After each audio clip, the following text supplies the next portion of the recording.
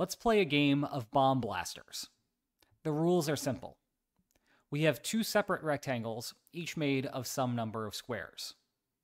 On each turn, the active player will take a bomb and choose one of those squares to hit with the bomb. The bomb will also destroy any square that shares a full side with the square hit. For example, if I choose to bomb this square here, not only will I destroy that square, I will also destroy the squares directly to the left, to the right, above, and below it. I will not, however, destroy any of the squares that just shared a corner with the square hit. As another example, if you on the following turn decided to bomb the bottom left corner of the left rectangle, not only would you destroy the corner, you would also destroy the square above it and to the right of it. Here's the puzzle. You go first. We will take turns selecting bombs until all of the squares have been destroyed. The person who destroys the final square will be declared the winner. Your task is to find a strategy that guarantees you the win. And while you think about that, check out some of these cool books that I've written. Today's puzzle is a light application of backward induction, which is found in Chapter 2 of Game Theory 101, the complete textbook.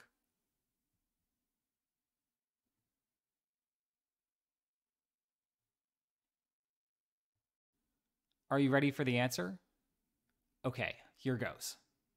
If you begin this game by taking a center block from the leftmost triangle, be it the top one or the bottom one, in this case it's the bottom one, but it's going to be the same either way, you will guarantee yourself the victory. Why is that? Well, what we need to do from here is work out why no matter what move I take, I am ultimately going to lose from this position. The first step is realizing that the leftmost rectangle has exactly two steps left. So whenever I might go about taking one of those squares, you can always follow that move up immediately by taking the other of the squares. So these things essentially are just canceling each other out. In fact, that discovery greatly simplifies the rest of the analysis. Now what we really need to ask ourselves is if we just have this larger rectangle left, is there anything that I can do going first on that rectangle to win? If the answer is no, then we'll have established that the first move that you made of the game allows you to guarantee the victory. And indeed, that's how I went about solving this problem on my own. I first realized that you can force the left rectangle to have exactly three moves. And so if you can also force the right rectangle to have an even number of moves, then you are guaranteeing yourself the victory. That's because you are going first, you have the odd number of moves, and so if there are going to be an odd total number of moves, you win. So from here, we just need to go through every single one of my possible moves and make sure there is an appropriate counter strategy on your part that assures you the final move. Now that might seem like a lot of work because there are 12 blocks remaining. Fortunately, there is a lot of symmetry here, however, and that means that we're going to be able to do this rather efficiently. Let's start with one of the center blocks. Imagine I bomb this one. Then the remaining figure looks like this. Is there anything that you can do from here to guarantee yourself the win? Well, you'll notice that the left two squares are completely isolated. So like before, those moves are going to cancel each other out. And furthermore, you'll notice that if you take the center block on the right, like this, you'll create two more isolated blocks which means in the remainder of this game, I will bomb one of them, you'll bomb another one of them, I'll bomb a third one of them, and you will win by bombing the fourth and final one. All told, that means that I cannot win by bombing this center block. But you'll also notice that the other center block is symmetric. So the argument that we just made about the first center block applies equally as well to the other center block.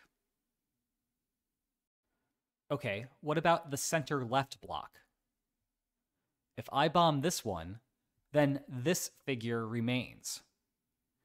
Do you see a move from here that allows you to guarantee the victory? Well, if you take away the center block, you're left with four isolated squares, which means I will bomb one of them, you'll bomb the second one, I'll bomb the third one, and you'll bomb the fourth one to win the game. Thus, I cannot win by taking the center left square. And by symmetry, I also can't win by taking the center right square. So that means the middle row entirely is incapable of generating me the victory. We're making good progress so far, and it didn't take long. Moving on, what about one of the top center blocks? If I bomb that one, this figure remains. Do you see what you can do with this to guarantee the victory? This one's a little bit more complicated. But if you take the rightmost center block, like that, that will guarantee you the win. Why is that? Well, regardless of which square I choose to bomb from here, exactly two moves remain. If I bomb the top square, then the two squares on the right will be left over, and your final move will remove both of them. If I bomb the corner piece, then just the single square on the right will remain. You can bomb it, and you'll win. If I bomb the center piece on the bottom row, then only the top single square will remain. You'll bomb it, and you'll win. And finally, if I bomb the rightmost square, then the two leftmost squares will remain. You can bomb them, and you'll win. No matter what I do from here, you're destined to win. As a result, we can conclude that choosing that top left center block will not be sufficient to generate a victory for me. But of course, that is symmetric not only with the other top center block, but also the bottom two center blocks. None of those are going to allow me to win the game. And thus, we have only one situation left to consider. Can it be the case that if I bomb a corner piece, I'll be able to win? Well, if I do, we're left with this. Can you see a counter move on your part that will allow you to win from here? This is a little bit more difficult because it requires going through a bunch of different contingencies. However, if you bomb the right center block, like this, the remaining figure allows you to win. Do you see why? There's no winning move for me here. If I bomb the center block, then there's just going to be a single square that remains. You bomb it, you win. I also can't bomb the single square all by itself, because if I do that, now you could bomb the center square, and you would win. You would remove all four of these at once. The only remaining option is that I bomb a side square from the larger figure.